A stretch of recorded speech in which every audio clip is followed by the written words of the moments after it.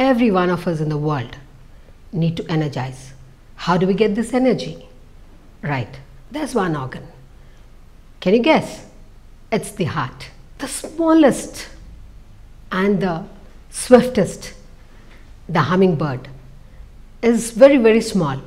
But do you know how many times it hearts beat? And the huge, largest animal on the planet Earth, the blue whale. It's so huge. How many times its heart beats?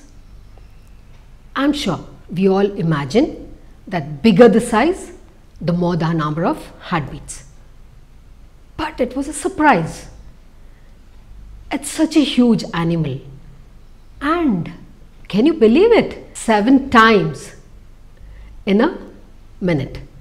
And the little bird, which is so small and tiny, beats for 1200 times, which is really unbelievable and marvelous.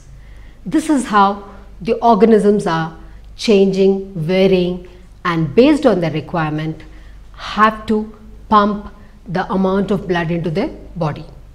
And here I felt man, about 60 to 70 kgs of weight, would definitely, as you all know, beats for about just 72 times in a minute. And shall we try and see how the pulse beats here?